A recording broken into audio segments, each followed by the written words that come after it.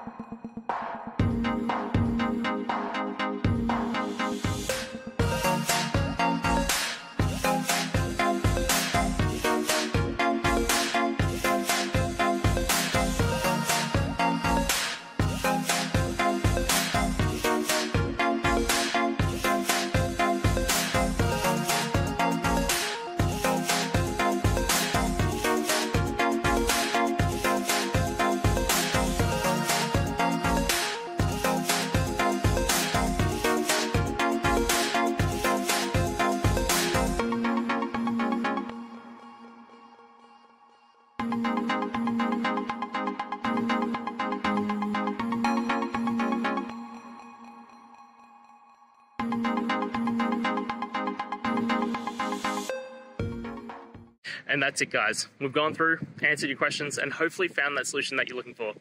If we did, please hit subscribe. I'd really appreciate it.